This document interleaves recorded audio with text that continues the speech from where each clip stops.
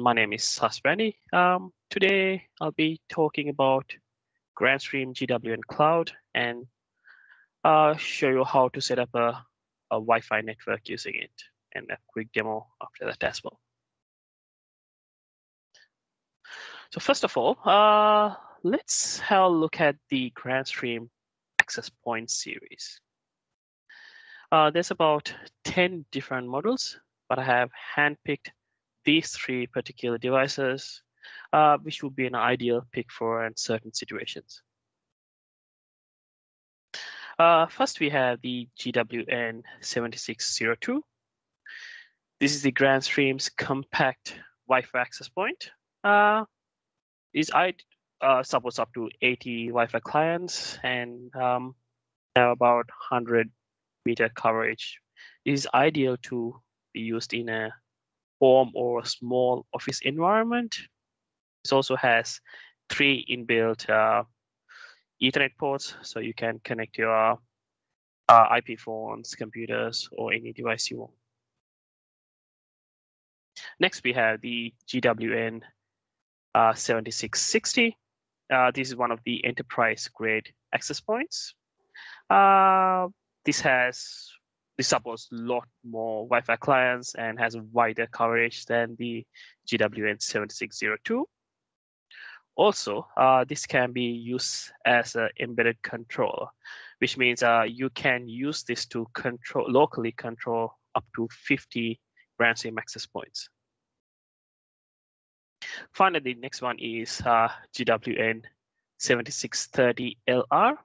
Uh, main difference between this and the other one is uh, this has a waterproof casing and heat resistant shield.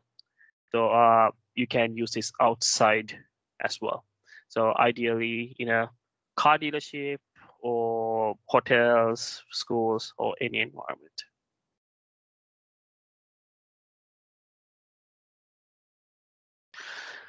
So uh, what is GWN Cloud? Um, GWN Cloud is an enterprise-grade cloud Wi-Fi management platform for GrandStream access points.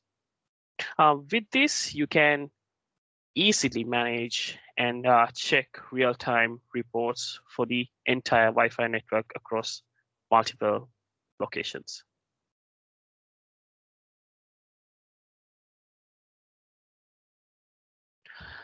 So uh, let's look at uh, key benefits of using GrandStream Cloud.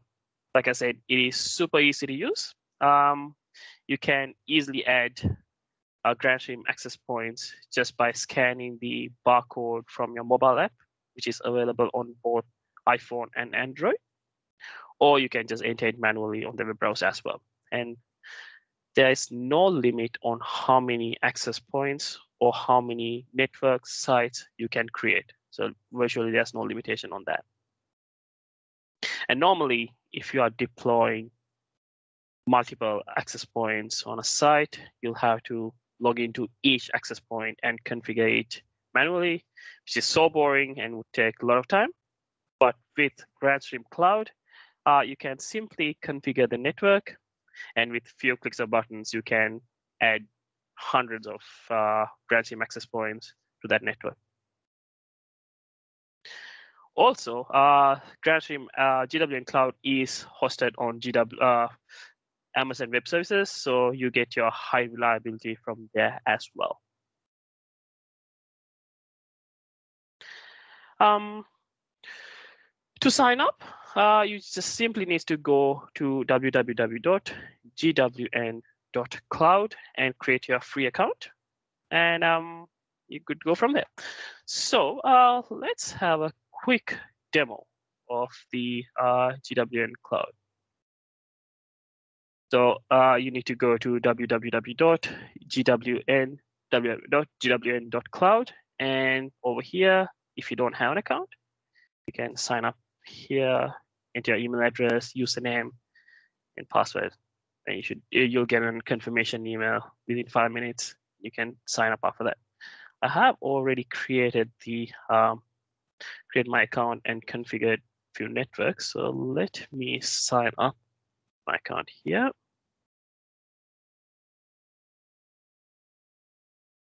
There you go. If you have used Grandstream uh, devices before, uh, you can see a familiar user interface. On the dashboard, you can see a quick snapshot of all your GrandStream access points and all the networks that you have available. In this case, one access point.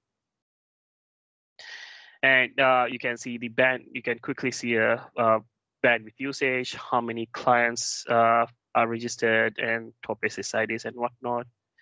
And the network list, you can see a list of networks. So uh, default is the default a network that GrandStream Cloud has, and I've configured two other networks over here. And the AP list, you can see the list of APs you have on all their networks. So um, let's quickly go into the site that I've configured already. So you go into network and we're going to Alloy site one. Again, under overview, it's similar to the dashboard. You can see a quick snapshot of your of this particular network and how many access points, clients, and whatnot. And if you go into access points, um, under summary, again, it's just a quick snapshot of the access points. Under status, uh, you can see a list of all the access points.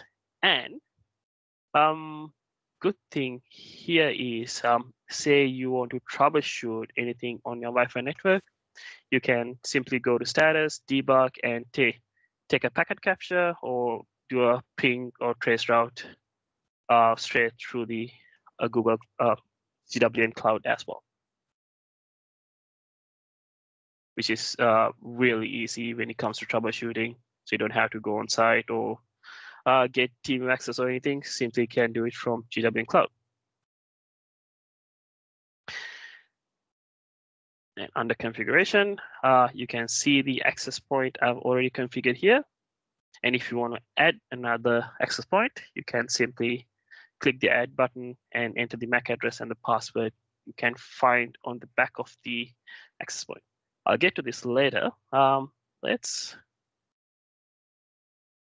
go into configuration. Over here, you can uh, configure your IP details and bandwidth details for, for 2.4G and 5G.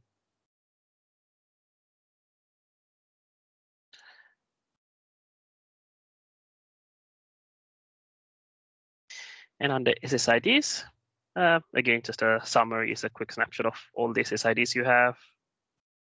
Um, excuse me.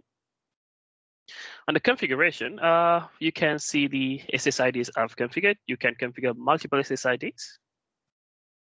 Um, I've configured one here, which is Alloy Wi-Fi. If you go into that, uh, you can see the name and the security mode and the pre-shared password stuff. Also, if you go into device membership, you can see how many access points have configured with this uh, SSID. At the moment, we only have one.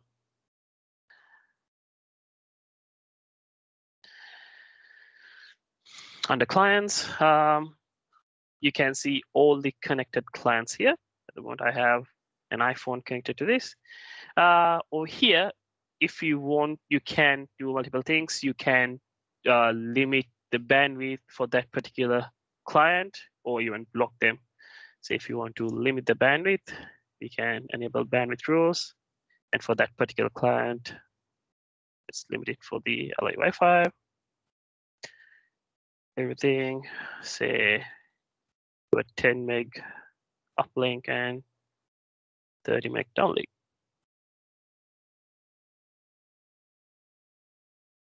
So that's quite useful if you have a, a users using the uh, network for downloads or stuff, or you can just limit them from here straight away. Um, over here we have captive portal. I have not configured the captive portal uh, captive portal on this network, but uh, with captive portal, what it, how what it is is um, it re when you uh, join the uh, this Wi-Fi network, it will redirect you to a special page that you uh, you need to log in before you grant access to the network. So usually you see this in um, hotels or in airports and even some cafes. So it's pretty straightforward and easy to configure. So if I go into splash page, you can see create a splash page. Um, you can upload your own logo and you can select the login methods if it's free or uh, Radius server or just using your social media accounts here as well. And you can see how it will look on your mobile on your computer. It has a few options. You can have advertisements playing. So it's good for an hotel if you have any sort of uh, promotions or even on a cafe. You can just have them played before they log into the network. Um, under radio, this is where you configure the uh, frequency for your 2.4G and 5G. I have not made any changes here. I kept it default. And under access control, uh, this is where you can, if you want to block some users, you can just simply add the MAC address here and block them from connecting to your network.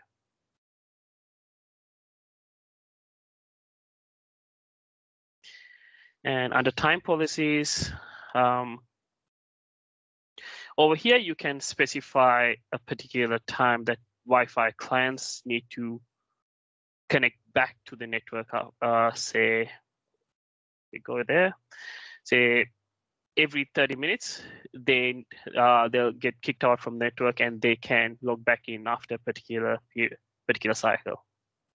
I guess this this will be used in hotels or airports or some server uh, situation like that. And over here, you can uh, configure your bandwidth rules. You can see the bandwidth uh, rule that I configured earlier for that uh, client is the 10 meg and 30 meg. And also have a bandwidth rule configured here during office hours. Uh, has a 10 uh, meg uplink and 20 meg downlink for all the users, which is connected to the Alloy Wi-Fi network. You can have it for, you can schedule it anytime as well.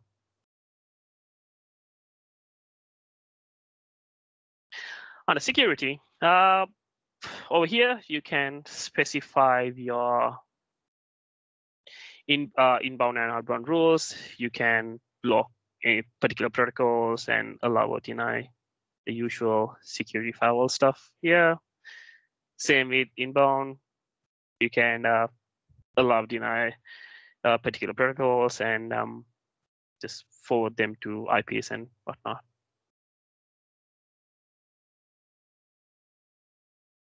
And if you go into system, this is this where you configure your general uh, settings of the access points and maintenance. And over here, you can configure uh, alerts, email alerts. So say you wanna configure email alerts if any access points goes offline or it reaches particular throughput, you can configure them here and it will send you an email. So it it's makes it quite easy for you to manage this Wi-Fi network. You don't have to uh, constant, uh, continuously monitoring it. Um, that's simply what I've configured here. Um, let's see how easy it is to add an uh, access point to this network. Uh, to do that, you can either go to configuration and click add from here, or you can use your mobile app. Uh, let me use my mobile app. Me see if I can share my screen.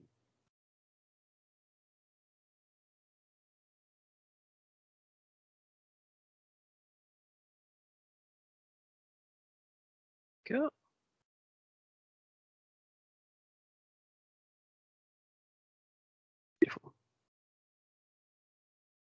you should be able to see my screen here. And if I go into the Grandstream cloud app here.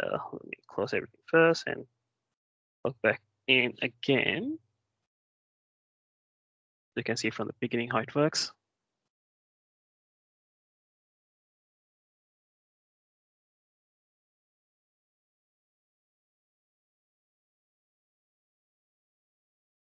There we go. Beautiful. And if you log into the GrandStream Cloud app, similar to the dashboard, you can see all your devices and access points here. And to add an additional access point, you just go to access point and press that plus button on the left top and just need to scan the uh, serial barcode at the back of the screen. So simply here. There you go. Added that, and let's name it alloy P2. Beautiful. Now, if I go back into the default network, so all the new access points will be automatically get added here to the default network. Then you can move into the any network you have. I just added this one. Say if you want to add 10 more, you just need to scan that code and just add them here. You can assign them to the sites you have. So let's assign it to the Alloy site one, which I have the other access point as well. Boom, there you go. You can see both the access points here, and you can do your usual configuration if you want to uh, configure a static IP. But all the other settings that I've configured earlier will automatically get added to this uh, access point. Just to uh, confirm, you can go into configuration and go here. If you go into device membership, you can see the second access points I added there. Um, that is pretty much it on this demo. Also, um, uh, let me touch on this one as well.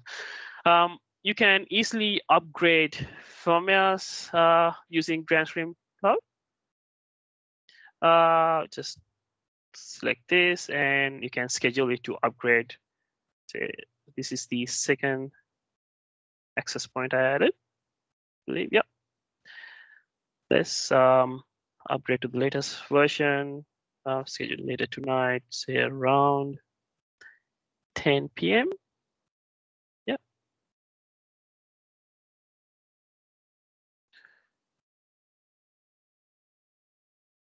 10 p.m. There you go. So, so it will automatically, uh, I've scheduled that here and it will get executed um, around 10 p.m. today. I, I, did the same thing for the other uh, access point earlier, which was yesterday, and it was successfully upgraded to the latest version. And under reports, you can generate reports on your Wi-Fi network. I've just um, generated one earlier. Uh, you can just get um, all the statistics of the uh, network and bandwidth usage and whatnot, and you, you can get it to um, generate uh, daily or weekly or whatnot and send it to your email address.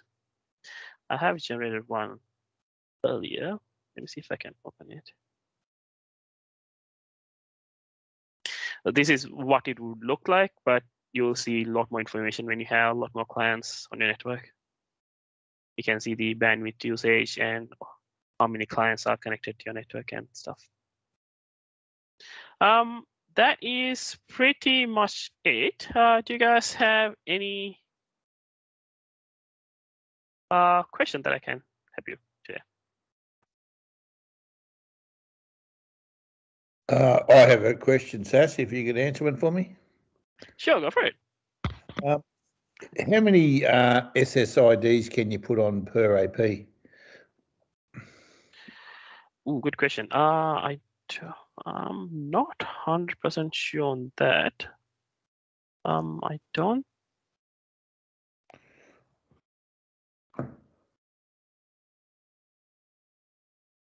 Um,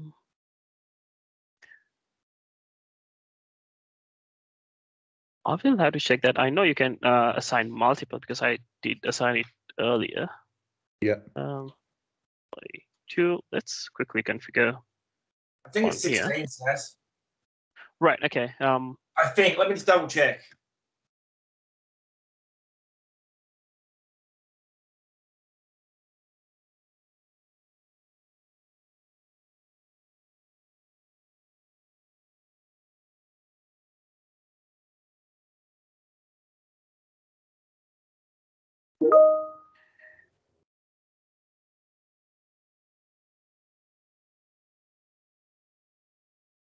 And then the, the next question I would have, the normal hotel environment these days, are obviously want their own VLANs per room so that they can, you know, Chromecast and so forth do their TVs.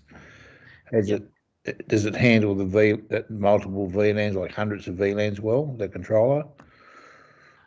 Uh, you can uh, configure VLANs here. Um, Yeah, it So- does. It can. Yeah. Yeah. And just confirming, guys, so it's 32 SSIDs in total, but it's 16 per radio. So 16 for the 2.4 gigahertz radio and 16 for the 5 gigahertz radio And that's per AP. per AP. Yeah, that's plenty, that's heaps. And there's no limitations on how many VLANs or APs you can put on the controller per client? No, so no, there's no limitation. Yeah, and obviously it's limited to like 496 VLANs, which is your standard Yeah, yeah. band limits.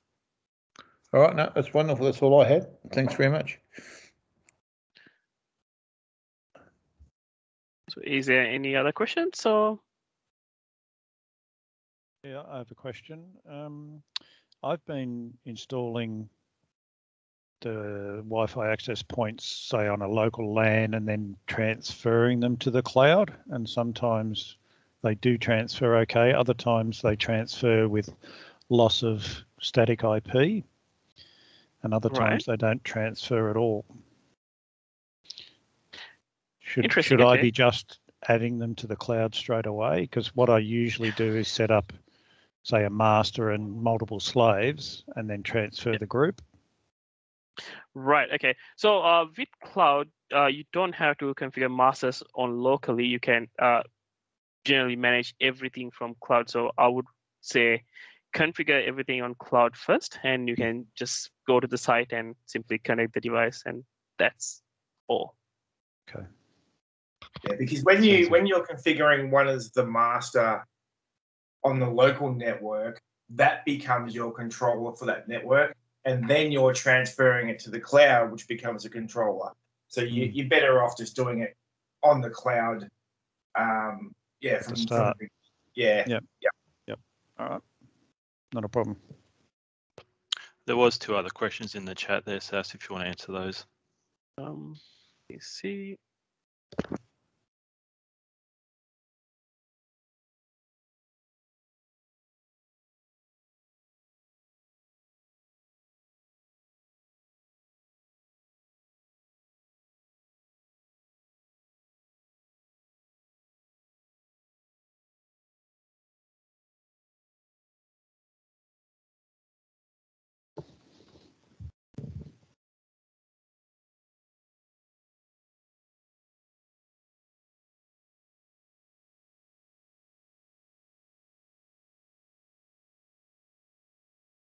For the priority for users, um, believe I saw that here. Um, let's try that.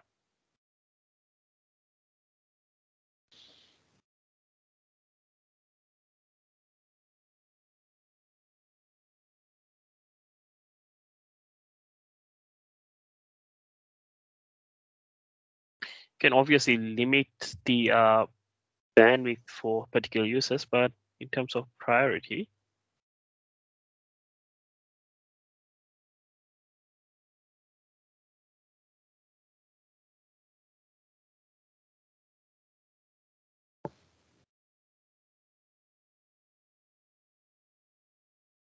I will have to check that and get back to you on if we can uh, prioritize particular users or the others from here.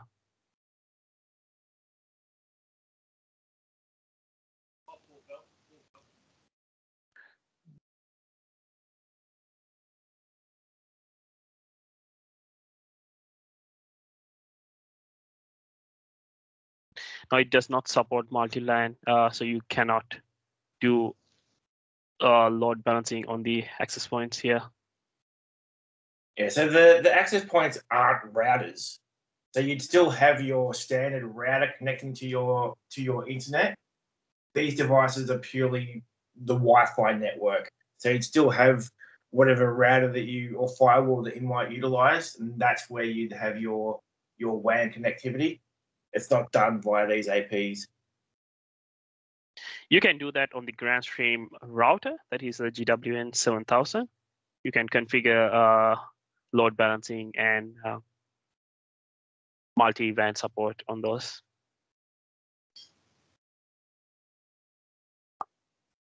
Is that configurable in the cloud too? Uh, you cannot add uh, routers onto the cloud. This is just for the uh, Grandstream uh, access point. So routers, you have to configure it manually.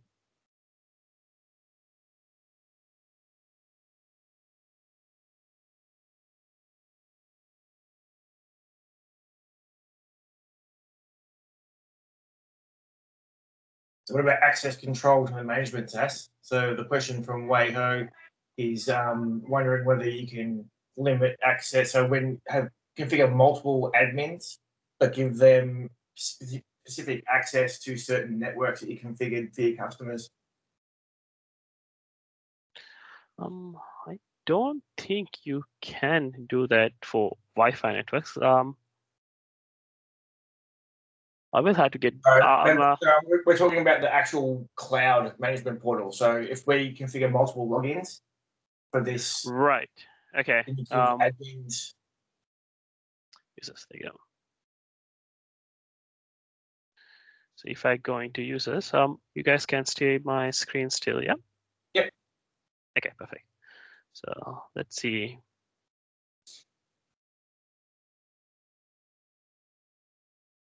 Let's add another one. Um, and platform administrator, network administrator. Yes, Okay. you can. yeah, Yeah. yeah. you can give them access to particular uh, networks. Right, last question there, Sass, is the one from Mel. So in Captive regards portal. to the captive portal, can we limit that to certain users? Um, I believe you can limit that to certain SSIDs. Yeah. Um, I don't think you can uh, limit that to particular users. If so, you should be able to see that here. I think you can. Um, in um, I'm just reading the manual. There's stuff in there about radius authentication. So you might have username, passwords, that kind of stuff. You can set it up with the captive portal where you can have, or maybe you can just have whitelisting MAC addresses that don't need to hit it. I think you can do that. Right. Okay. Um,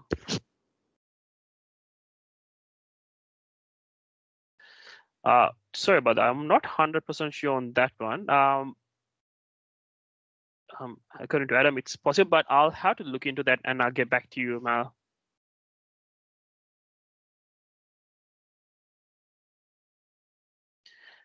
Um, I think that is all. Is there any other questions that I can help you today?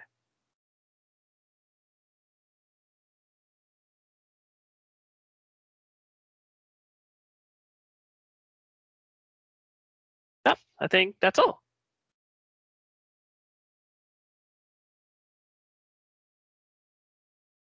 All right, thank you guys. Uh, have a good afternoon.